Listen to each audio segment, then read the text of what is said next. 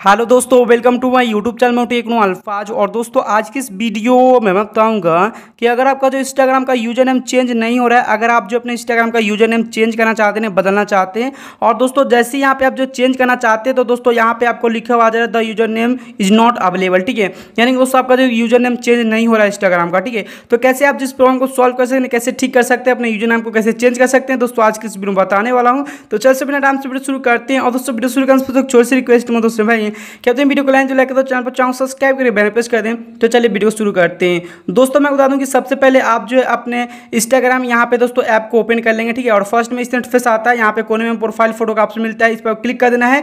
Click करने के बाद दोस्तों यहाँ पे एडिट प्रोफ़ाइल का ऑप्शन मिलता है, इस पर क्लिक कर देना है, ठीक है? जैसे आप इस पर क्लिक करेंगे थोड़ा देर वेट करें, इस इंटरफेस आ जाता है ठीक है? तो ये रहा इंस्टाग्राम का यूज़र नेम ठीक है? और यहाँ पे ऊपर साइड में आपको नाम देखने के लिए मिल जाता है। तो यूज़र नेम चेंज नहीं हो रहा है तो इस पर आप क्लिक करेंगे, जैसे आप इस पर क्लिक करें, इस इंटरफेस आ जाता है।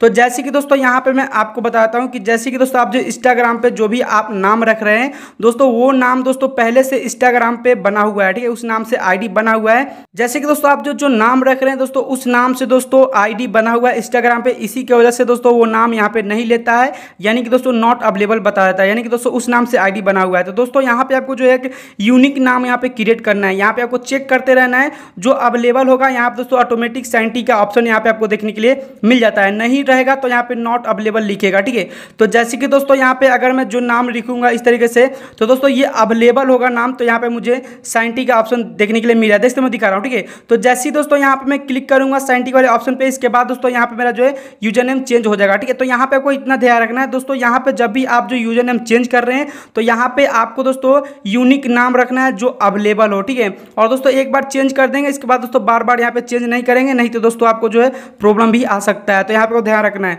तो यहाँ दोस्तों, इसी तरीके से दोस्तों आप जो इस तरीके से आप जो आप जो है इंस्टाग्राम का यूज़र नेम आप जो चेंज कर सकते हैं। तो दोस्तों, वीडियो कैसा लगा? दोस्तों, इस वीडियो को मैंने बहुत समझ ज़रूर वीडियो अच्छा लगा। तो प्लीज़ लाइक करो, चैनल पर चाहो सब्सक्राइब करें बेल प्रेस कर दे। तो चैनल सो फ़िलहाल अगले वीडियो तब दीजिए थैंक सो मच